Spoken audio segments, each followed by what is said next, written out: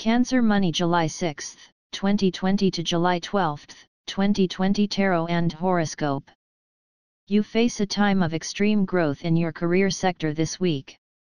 You have renewed hope that you are going in the right direction, and faith in your own skills and natural abilities. You know what you want to do, and you've learned to do it well.